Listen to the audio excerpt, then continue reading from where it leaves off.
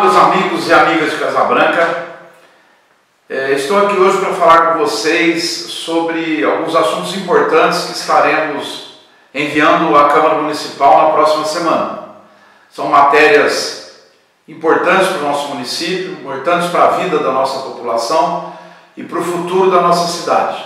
Vocês sabem que nesses primeiros quatro anos de administração nós conseguimos recuperar a infraestrutura do nosso município, resolvemos problemas antigos e cruciais da nossa cidade, como água, esgoto, lixo, infraestrutura, pavimentação, e agora chegou a hora de darmos um salto de qualidade. E nesse sentido, estamos enviando ao Poder Legislativo, na próxima sessão, da próxima terça-feira da semana que vem, matérias importantes como o Código de Postura do município, que precisa de uma readequação, urgente já há algum tempo. Estamos fazendo um trabalho muito intenso de fiscalização de terrenos, também de ocupação indevida de calçadas, também de barulhos, sons excessivos, e tudo isso tem que ser regulamentado, disciplinado na nossa cidade. Estamos mandando também uma lei de incentivos, juntamente com a concessão de direito real de uso de terrenos dos distritos industriais 1, 2 e 3 em Casa Branca.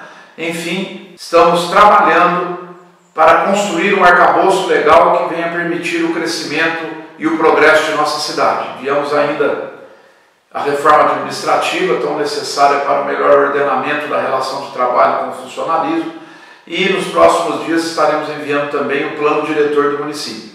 Enfim, são matérias importantes que estarão sendo encaminhadas ao legislativo e é importante a população saber disso para que possa acompanhar o trâmite, o debate e fazer sugestões junto aos seus vereadores.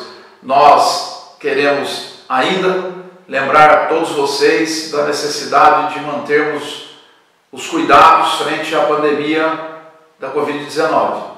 Temos que continuar usando máscara, manter a higienização com álcool gel, manter o distanciamento, porque a pandemia ainda está aí, as vacinas não são ainda em números suficientes para vacinação de todas as pessoas. Precisamos manter todos os cuidados para que possamos sair o mais rápido possível dessa situação de pandemia.